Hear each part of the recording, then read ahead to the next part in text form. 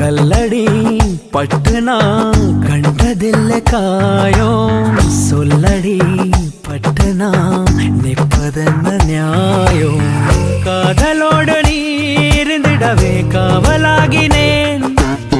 காணலாகி நீ பறந்திடவே சாகப் போகிறேன். உனை சேராமல் வாழ்ந்தாலே ஏது நிம்மதி? என ஏற்காமல்